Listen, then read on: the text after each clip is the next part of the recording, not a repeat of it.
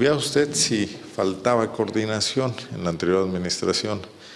Más o menos la mitad de las cámaras de seguridad con las que cuenta el municipio de León no están conectadas al Centro Estatal de Comunicaciones, al C5, como se supone que debería ocurrir a partir de un esquema de coordinación. El secretario de Seguridad Pública de León, Luis Enrique Ramírez Saldaña, informó que al menos 120 cámaras no están conectadas al sistema estatal de seguridad, solo están vinculadas al C4, el, el centro municipal, por lo que buscarán en un corto tiempo establecer esta conexión. La buena noticia es que el total de cámaras están en funcionamiento y el proceso para vincularlas al sistema estatal de seguridad es meramente técnico, preciso al funcionario. Adelantó que la Administración contempla adquirir más cámaras y otros instrumentos tecnológicos que contribuyan a un plan de seguridad eficiente. Tenemos aquí un cierto número de, de, cámaras municipales que de alguna manera no están conectadas al, al tema estatal. Funcionan, pero no están conectadas.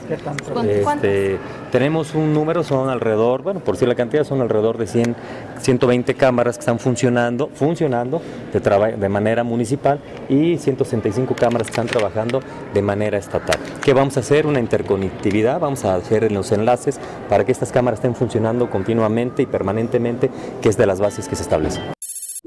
También habló al respecto el secretario de Seguridad Pública del Estado, Álvaro Cabeza de Vaca. Apoyarán a León, fue su planteamiento.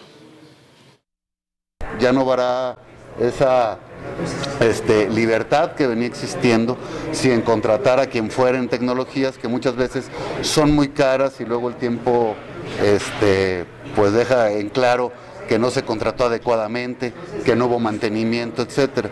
Por lo mismo es importante decirles pues que los municipios tendrán que hacer su diagnóstico en tecnologías y en caso de adquirir más tecnologías nuevas o renovar tecnologías en materia de seguridad pública, tendrán que consultar y obtener la autorización por parte del Estado.